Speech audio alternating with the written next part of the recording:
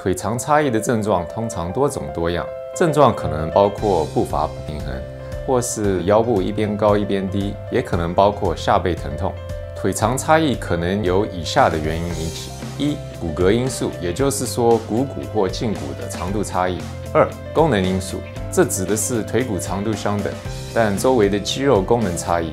这种不对称可能是由于腰部、髋部或下半背部的肌肉紧绷造成的。导致髋部左右高低不正，并且功能上或看起来不同于另外一侧。足科医师是经过专业培训来区分患者是受骨骼因素还是功能因素影响而造成腿长差异。